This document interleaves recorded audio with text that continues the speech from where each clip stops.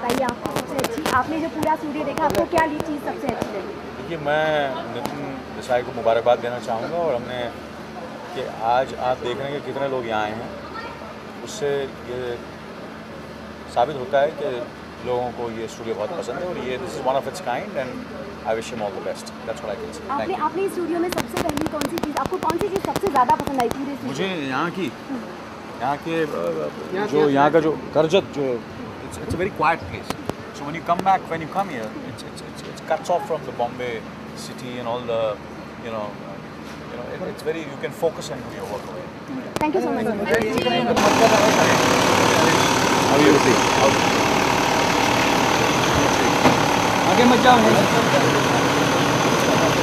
are you?